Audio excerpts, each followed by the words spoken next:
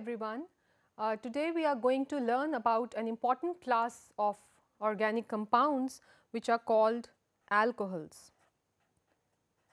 Alcohols are represented by the general formula R O H where R is the alkyl group. Okay? So, it is the hydrocarbon part of the molecule and this is the hydroxyl functionality which imparts special properties to these hydrocarbons. Okay? So, this is the hydroxyl group and we can say it is a unique uh, composite of a hydrocarbon and a water molecule. So, these uh, compounds have several important uh, roles in our day to day life. They are part of many important compounds and you know things which we use such as varnishes. They are present in perfumes. They are also present in the hand sanitizers which we use these days quite popular and the alcoholic beverages. So, they are a part of several important compounds which we have been using. However, uh, probably we need to learn something uh, about their chemical structure and properties and that is what we are going to do exactly in today's lecture. So, when we refer to an alcohol in general, uh, the most common alcohol is an ethanol, right. So, ethanol is given by the structural formula CH3 CH2OH. This is a 2 carbon aliphatic alcohol and in general it is prepared by ferment by the metabolic process of yeast. It is prepared by the fermentation of sugars.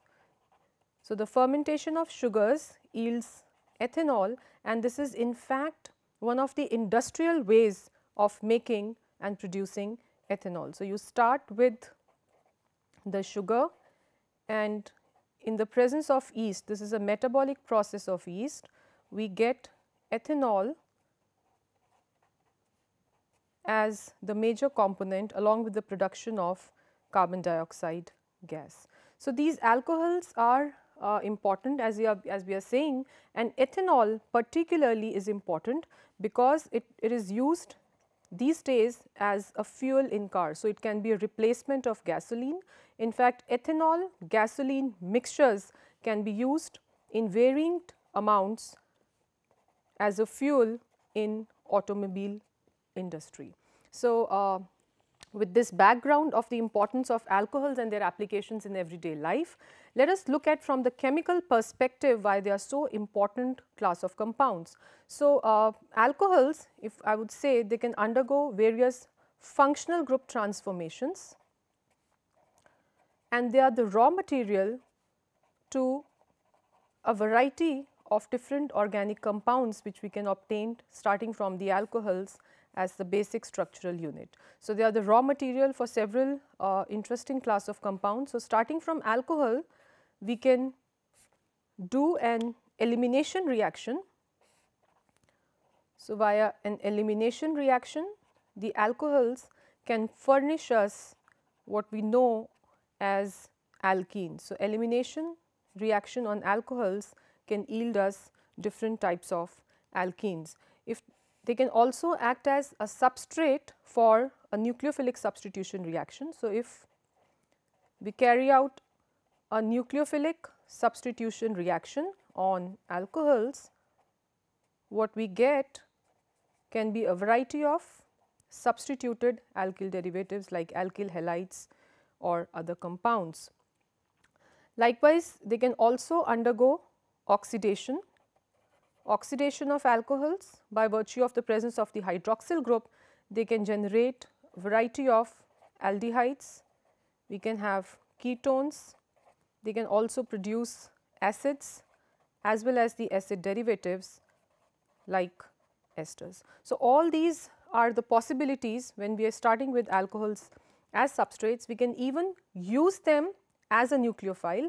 So, when they are used as a nucleophile, in a nucleophilic substitution reaction, they even yield what we call as ethers.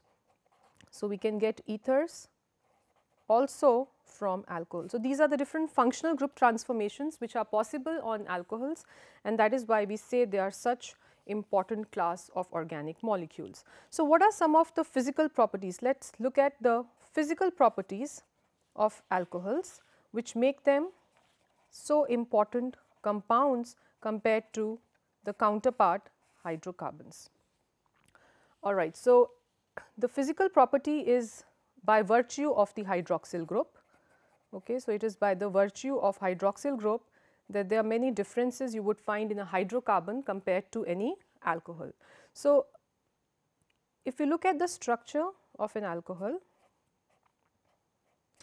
they have this unique ability to form what we call as the hydrogen bonds. So, this lone pair of electrons on oxygen which is electronegative, it and the hydrogen which is rendered electron electropositive, they have this unique ability to form hydrogen bonding between two molecules or more of alcohols and because of this ability to form hydrogen bonding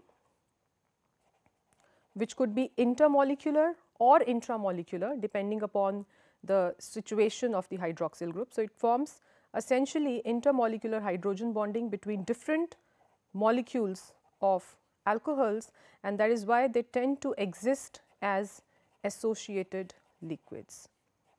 So, alcohols usually exist in form of associated liquids. In fact, they can also be used as protic solvents in many organic reactions. So, some of the implications of this hydrogen bonding is it is manifested in two of the important properties the boiling point of alcohols and the solubility properties of alcohol. So, the solubility and the boiling point shows distinction uh, compared to the corresponding hydrocarbon because of the probable possible hydrogen bonding in these molecules.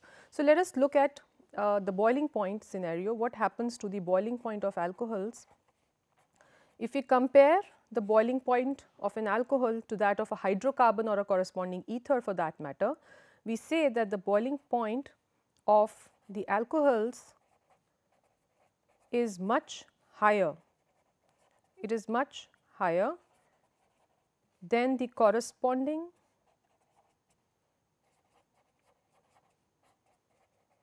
hydrocarbons or ethers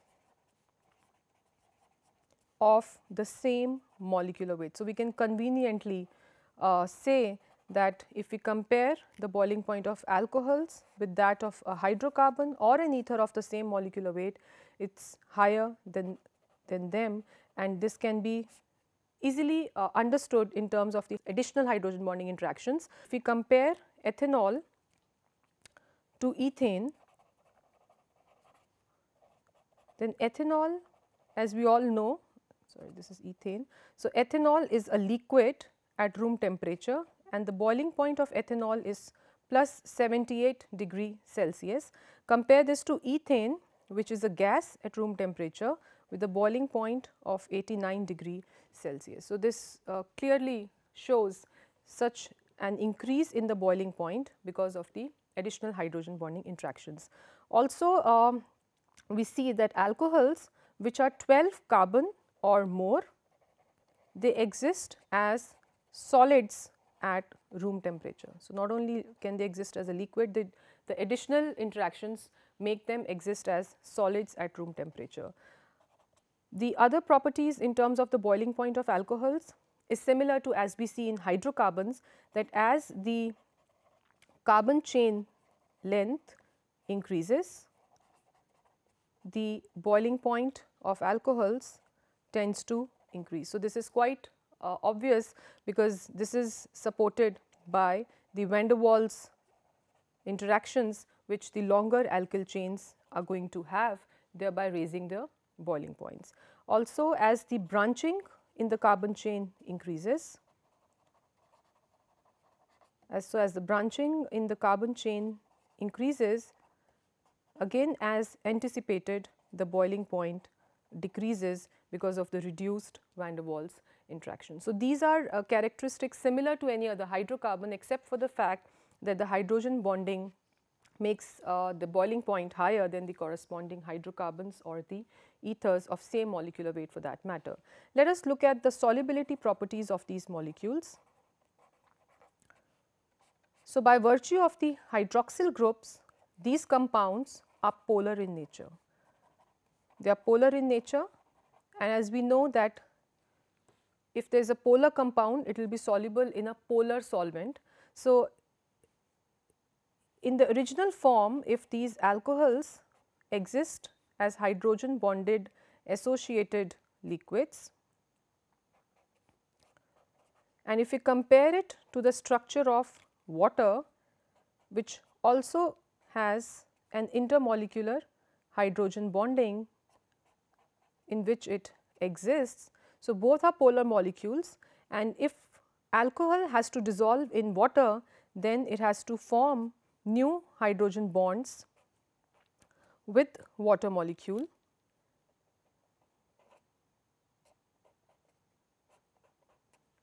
for this dissolution to take place. So, overall it means that for this solvation or the, the, the ethanol or any alcohol to be miscible in water, the delta H solvation should be greater than the delta H required for dissociation of the alcohols, the dissociation energy required for breaking these hydrogen bonds and the dissociation energy required here for breaking, breaking the hydrogen bonding in the water molecules. So, if this exceeds then the substrate alcohol will be soluble in the solvent. And also uh, we witness that the alcohols with longer alkyl chain. So, we are talking about, so it has two parts the hydrophobic alkyl part as well as the hydrophilic uh, hydroxy group. So, alcohols which have a longer alkyl chain are dominating in the hydrophobic part and they are immiscible with water. So, this miscibility and solubility in water is only by virtue of the hydrogen bonding interaction between the polar group and the uh, OH of water. All right. So, if you have understood these physical properties, let us move on to classify the alcohols.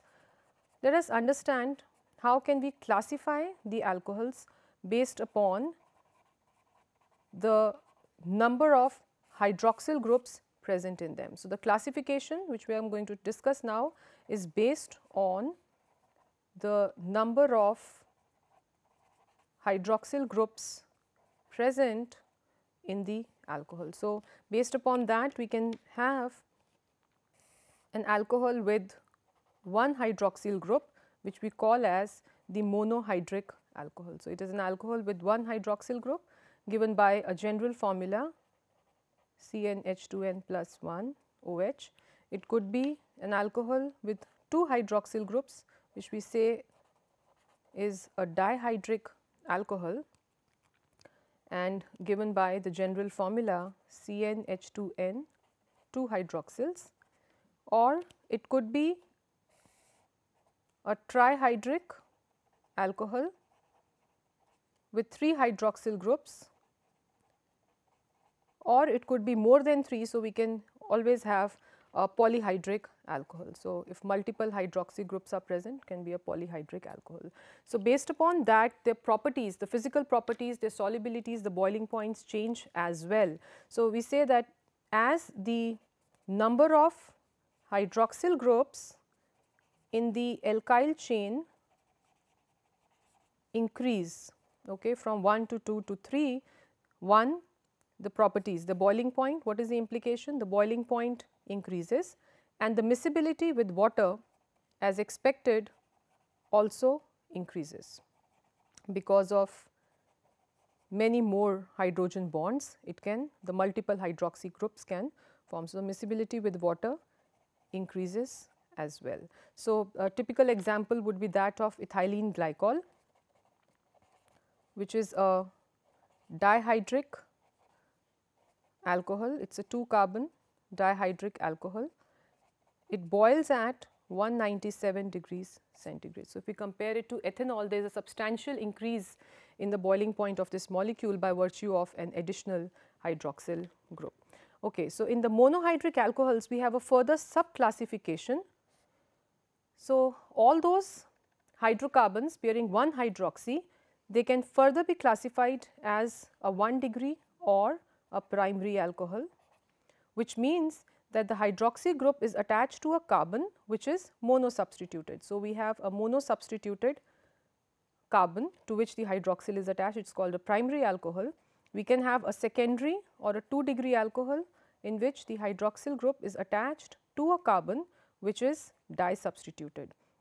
So, there is one hydrogen and there is uh, there are two alkyl substituents or it could be a 3 degree or a tertiary alcohol where the hydroxyl is attached to a carbon which is tri-substituted. So, based upon that we have uh, different classifications of alcohols which will be will be using uh, subsequently in the later part. Okay, so let us look at the structure of these molecules. What is the structure of alcohols in general? So, alcohols uh, shown by the molecular formula ROH.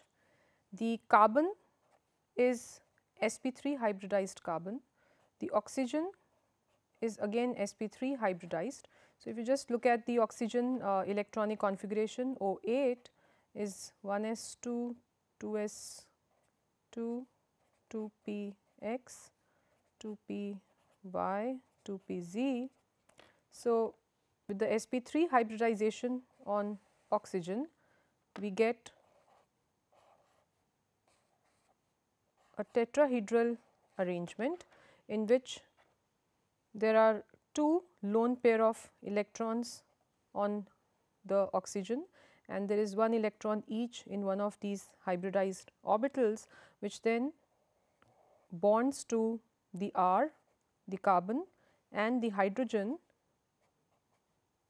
to give this alcohol and the theoretically the angle the bond angle ROH theoretical is expected by virtue of the tetrahedral structure to be 109.5, but experimentally this angle has been found out to be close to 105.5 degrees. So, this decrease in the bond angle from the theoretical to, to the experimental values can be uh, seen in terms of the lone pairs, the two lone pairs which are available on oxygen and by virtue of this lone pair lone pair repulsion this bond angle the ROH bond angle squeezes and we see a lower experimental angle. All right. So, going ahead uh, to some important uh, part the property of these molecules is the acidity and the basicity behavior of alcohols. So, let us see the acidity and basicity behavior of these molecules. So, as we know that acidity is nothing but the ability of the molecule to lose a proton and basicity is its ability to accept a proton. So, let us look at the proton donor and acceptor abilities. The pKa values of the, the alcohols roughly fall in the range 16 to 19 which tells us that they are weaker acids than water. So, they are weaker acids than water and if we compare their acidity with the known acid like a carboxylic acid, then you can see and we all know that any aliphatic carboxylic acid aqueous solution, if you treat this with a base like sodium bicarbonate which is a weak base. So, when we treat any carboxylic acid with a weak base like a sodium carbonate,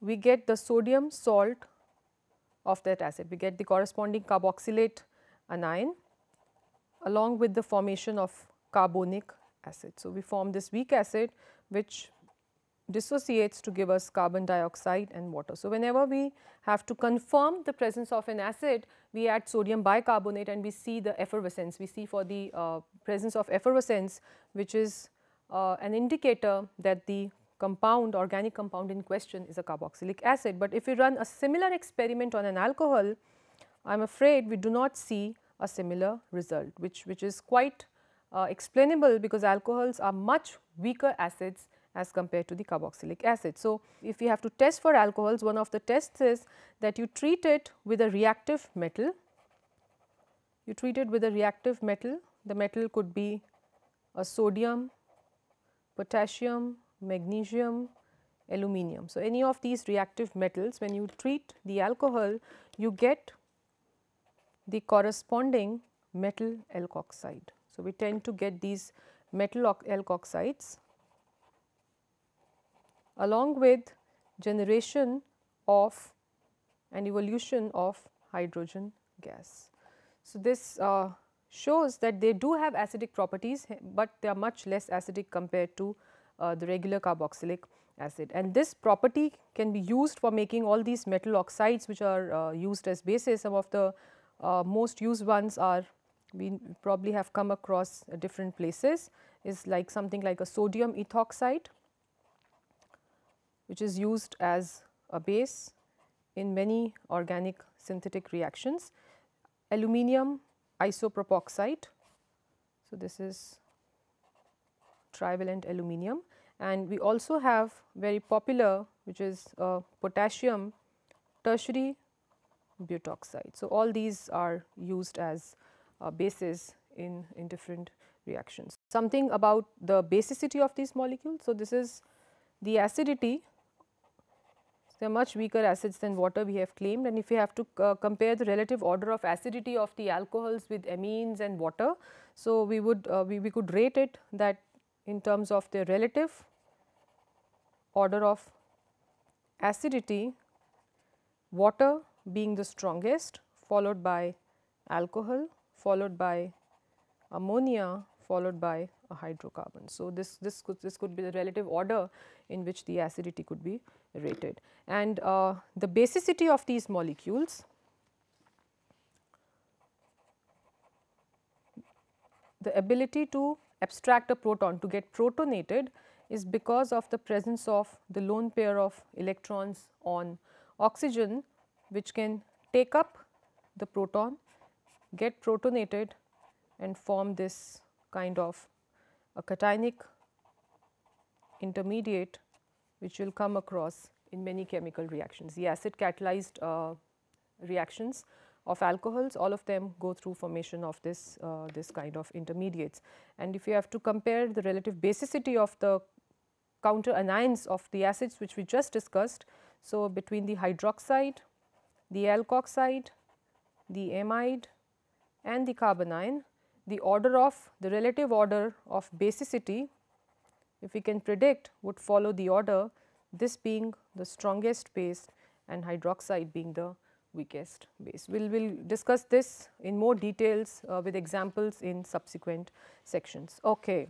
So, with this brief introduction to the physical aspects of alcohol, let us move on to some of the chemical properties uh, dealing with their preparation. So, the preparation or the synthesis of alcohols is important as I told you they are important raw materials for so many reactions uh, involved in our day to day life to get important molecules. The preparation essentially is from three important starting precursors. One is starting from alkenes. So, we will discuss the preparation of alcohol starting from alkenes through the reaction on alkenes is the electrophilic addition reaction. Electrophilic addition on alkenes gives alcohols and this could either follow a Markovnikov's pathway or it could be an anti-Markovnikov addition.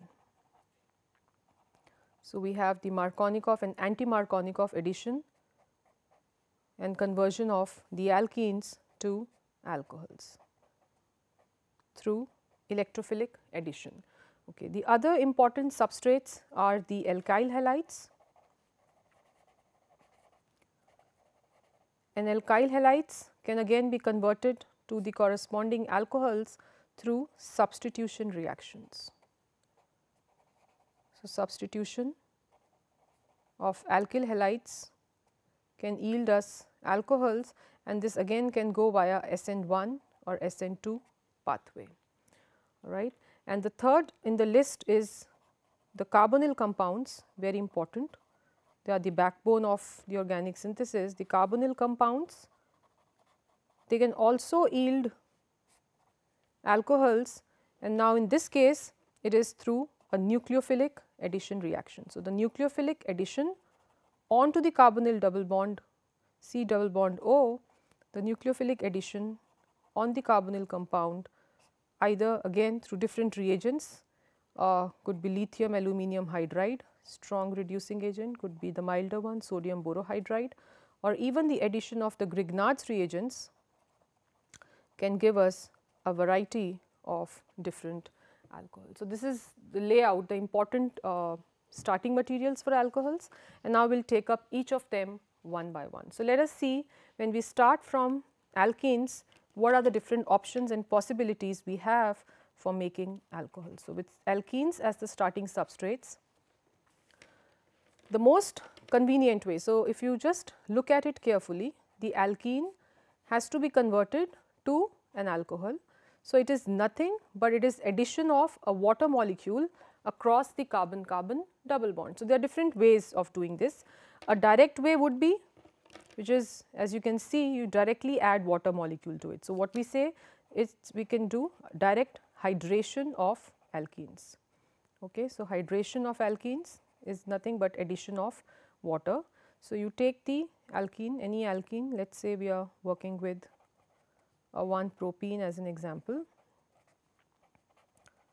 and you treat it with water and this is usually an acid catalyzed hydration. So, you do an acid catalyzed hydration. So, the first step would be addition of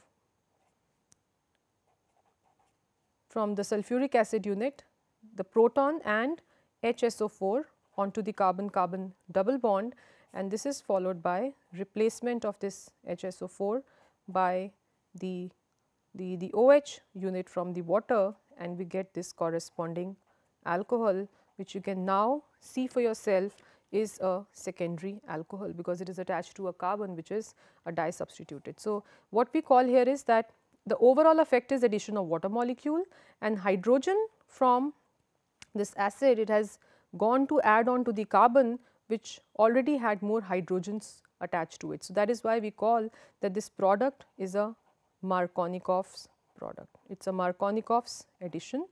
The product is a Markovnikov's product where uh, in general all this hydroxy group always goes and adds on to the carbon which forms a more stable carbocation. This is the general principle. So, we usually gets the Markovnikov addition as the dominant pathway for all these addition reactions on alkenes giving us alcohols for example in this case. The other uh, important process which is industrially relevant as well is the oxo process for making alcohols all right. So, uh, in the oxo process we start with the alkene, treat it with carbon monoxide hydrogen gas mixture in the presence of a cobalt catalyst which is octacarbonyl dicobalt. There is an intermediate formation of an aldehyde which is subjected to reduction with hydrogen, gas and nickel as the catalyst and this furnishes what we say is an alcohol and the alcohol is a primary alcohol. So, this oxo process is in fact an industrial uh, process of generating these alcohols and the important thing about this process as, as you would see here is that it helps in stepping up of the series. So, if we are starting with a 2 carbon system, let us say we are starting with an ethene and we treat it with CO and H2 in the presence of the cobalt catalyst, the dicobalt octacarbonyl, we get an aldehyde which is now a 3 carbon aldehyde. So, there is a stepping up of the series and this is followed by reduction to give you the 3 carbon alcohol that is the 1 propanol. So, we get a 1 degree alcohol through this because an aldehyde reduction would yield up a primary alcohol. So, this is uh,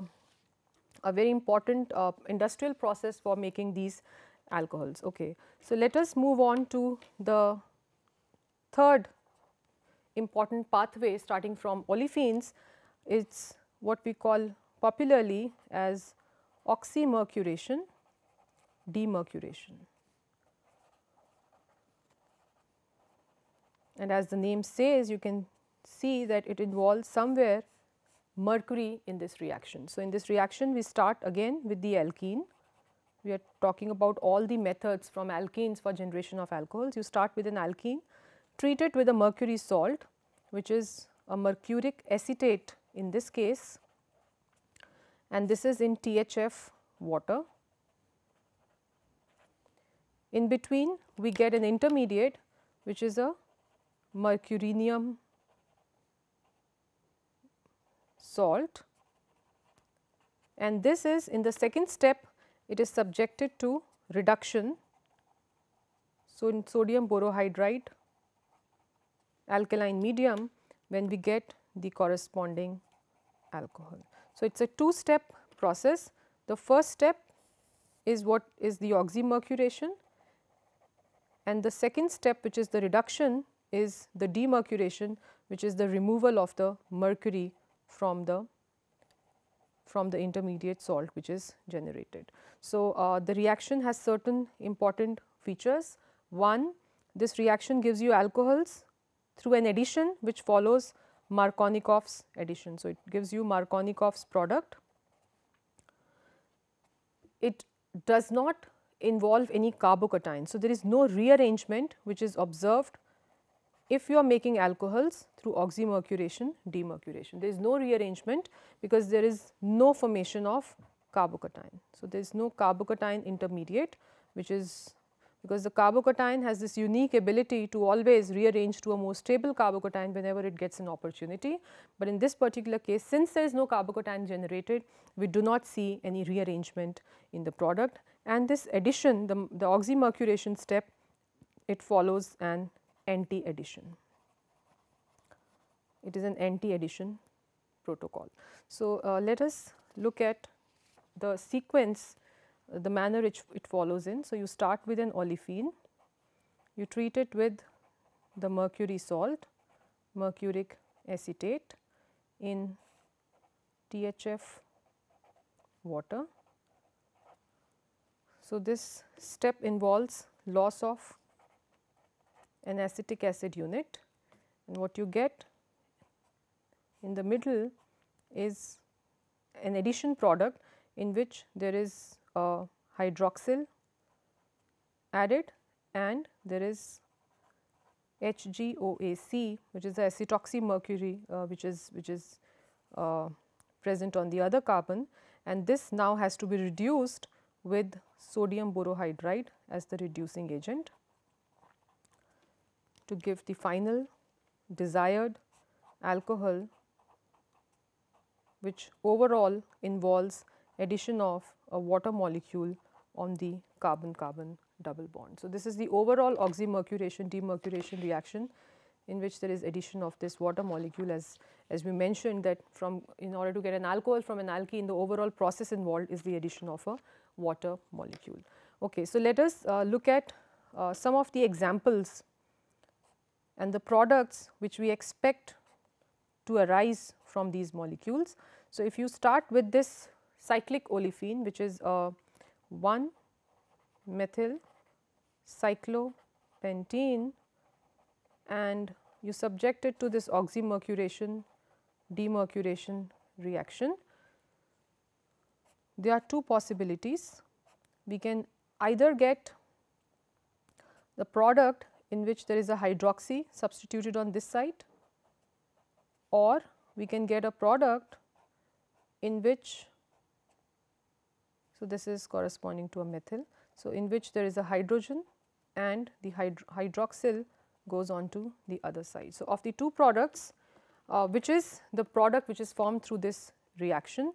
If you look here in this case the hydroxyl is adding to the carbon which has which is more substituted or in other words uh, the hydrogen is added to the carbon which is already having more hydrogens which is less substituted.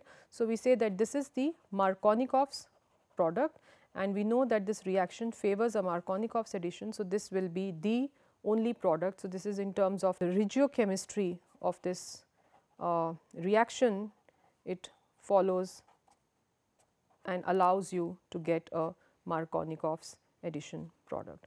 Okay, so if look at another olefin which is it is a tertiary butyl. Okay, so if you have to number this, this will become a 3 3 uh, dimethyl 1 2 3 4 and 1 butene. So, this is a 3 3 dimethyl 1 butene and if you again subject it to hydroxymercuration and demercuration, what we get in the process is an alcohol uh, which will be this one with hydrogen goes and add to the terminal carbon and you get this product which is a 3 3 dimethyl 2 butanol. So, you can see that there was a possibility of a rearrangement in this case to give you a more stable carbocation at this center, but no there is no rearrangement, there is uh, no rearranged product, there is no carbocation. So, you get this exclusively as the only product which is obtained. So, this is interesting. Uh, let us understand since uh, a lot of this uh, uh, specificity is observed in this reaction, what is the mechanism that this oxymercuration demercuration is going through. So, let us peep into the mechanism and try to understand some of the aspects associated with the reaction. Okay, so we have an olefin to begin with. Okay, so we begin with an olefin and there is a mercury salt available in the form of mercuric acetate. So, the first step is believed to involve this attack of this pi electrons onto the mercury salt Hg and with the elimination of the acetate anion. The first step we believe is the formation of uh, this kind of an intermediate which is a 3 member intermediate. You have the mercury which is forming a cyclic 3 membered cyclic intermediate with the two carbons of the double bond, this positive charge sitting with the mercury. This is uh, this is a cyclic mercurium ion which is generated as the reaction intermediate. So, you can see that there is a bridge formed on this side. Okay. So, the next step which is the attack of water molecule onto this cyclic mercurium ion intermediate now has to be from the side other to the side from where the bridge is formed. So, one side is blocked by formation of this bridged intermediate. So, the water molecule attacks from the other side and this results in opening up of the bridge and formation of So, if I have to show this the OH 2 it adds from the side opposite to where the bridge was and we get this as the op open chain analog of the cyclic analog. So, the next step now is the if you see this is a trans addition. So, that is why this is an anti addition this is very selective it is quite stereo specific this follows an anti addition pathway. Okay. So, the opening up we have the mercury and the water residing on opposite sides. Okay.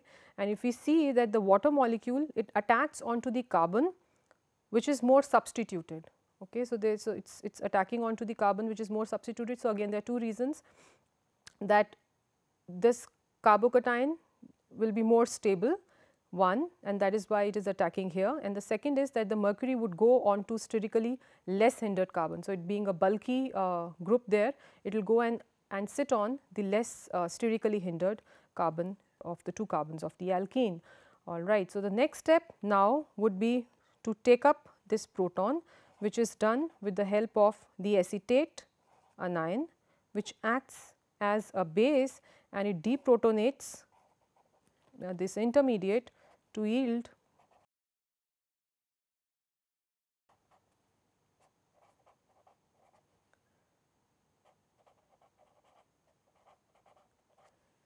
to yield this intermediate in which you have a hydroxy on the carbon which is more substituted and mercury is on the carbon which was less substituted and now is the last and the final step where we have the sodium borohydride reduction.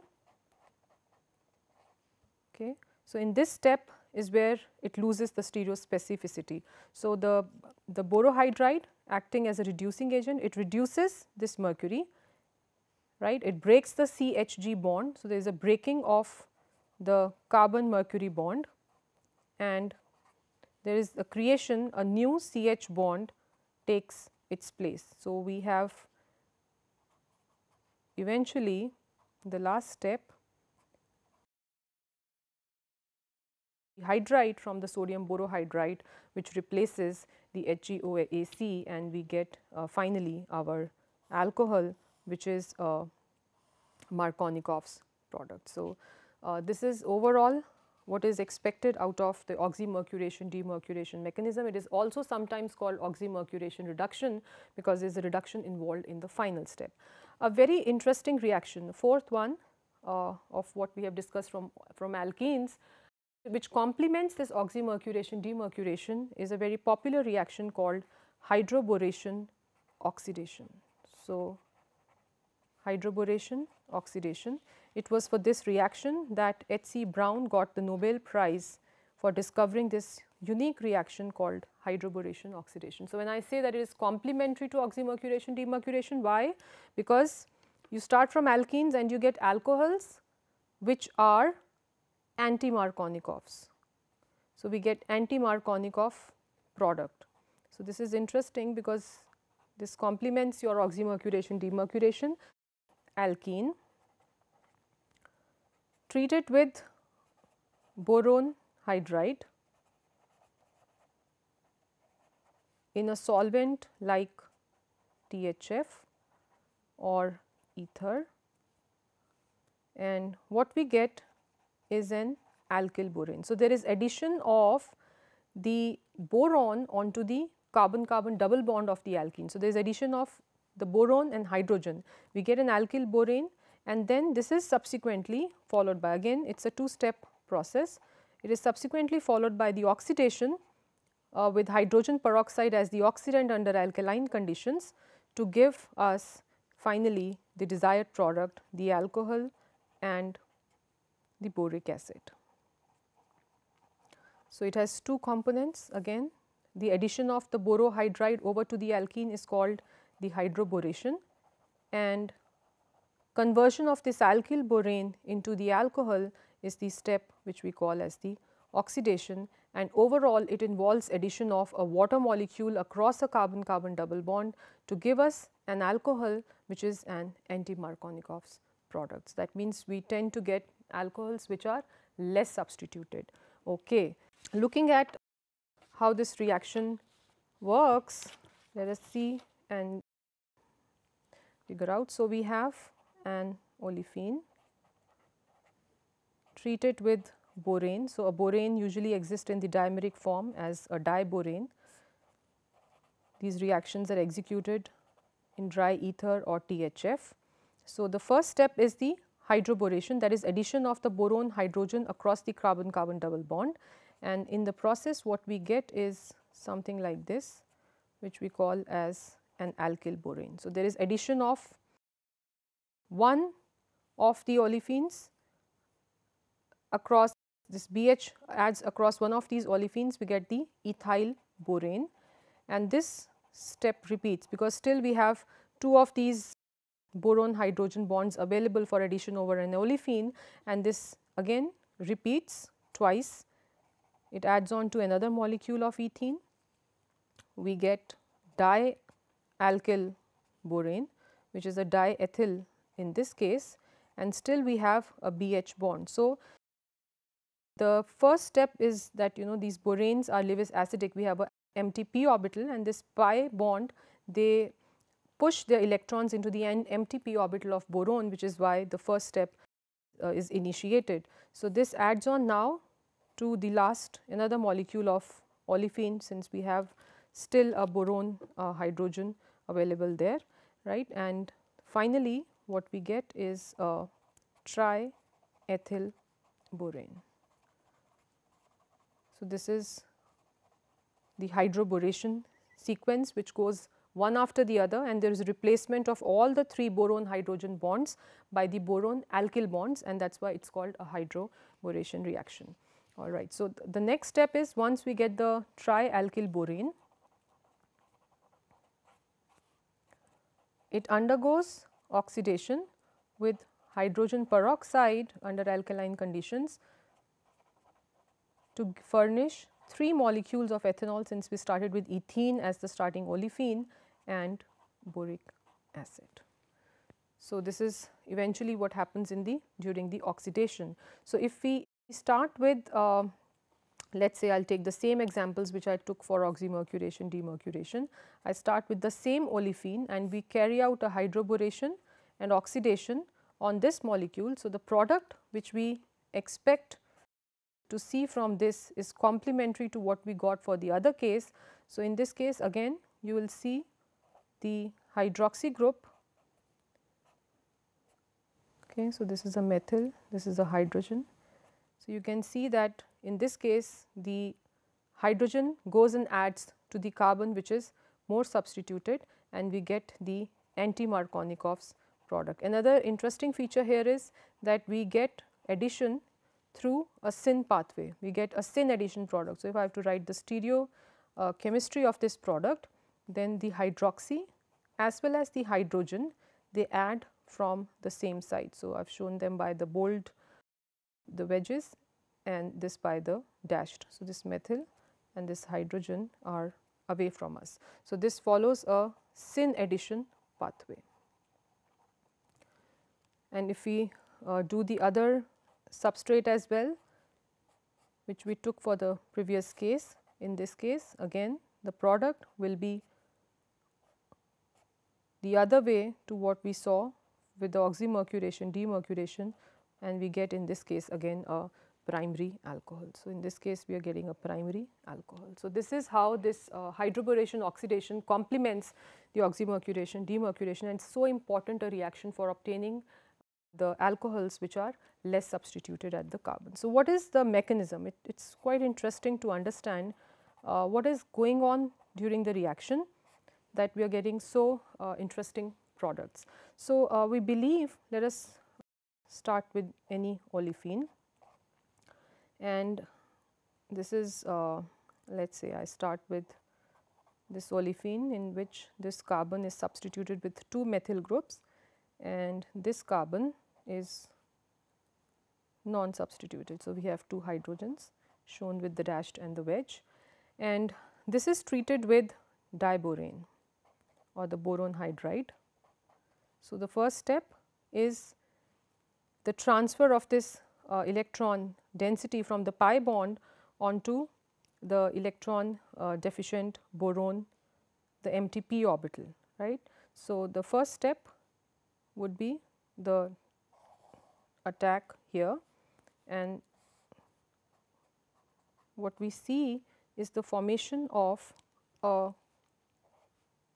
four membered cyclic transition state. So, we have a methyl is another methyl here. Okay. I will not write these methyls on because it is uh, kind of understood. So, only for hydrogens we put the hydrogens.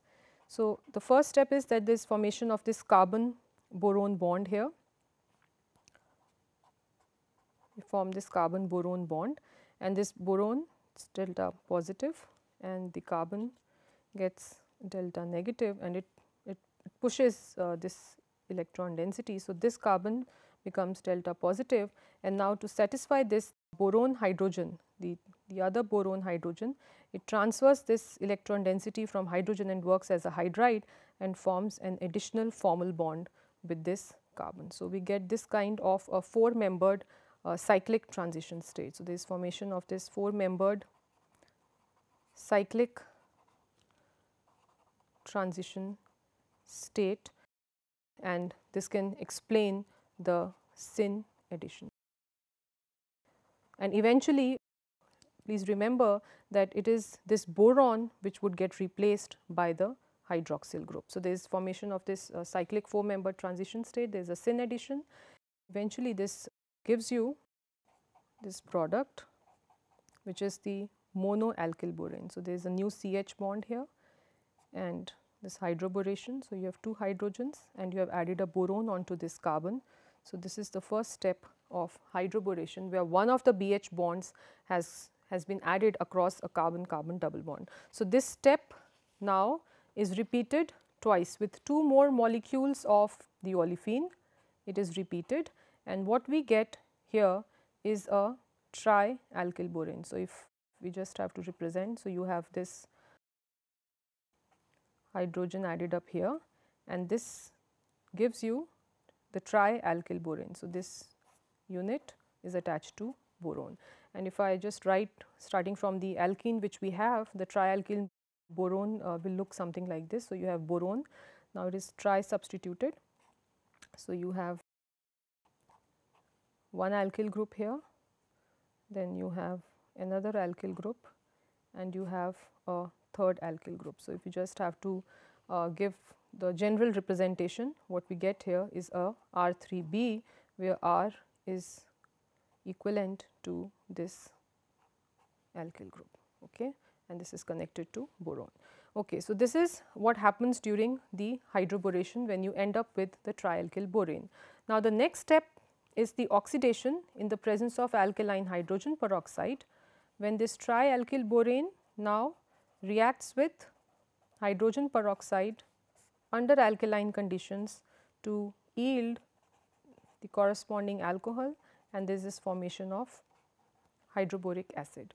So, what is happening here in the alkaline conditions the first step is that your hydrogen peroxide with hydroxide anion to give you the hydro peroxide anion. So, this is actually uh, the active nucleophile which is generated in the reaction which initiates the oxidation process. So, you have the trialkyl borane now with the boron having the empty p orbital and the hydroperoxide anion which is generated all right. It transfers its lone pair of electrons into the empty orbital of boron by acting as a nucleophile and this is what triggers the reaction and we get a boron which is a tetravalent boron with the hydroperoxide unit attached here. Boron bears a negative charge and you have the 3 alkyl groups. This intermediate which is formed is quite unstable.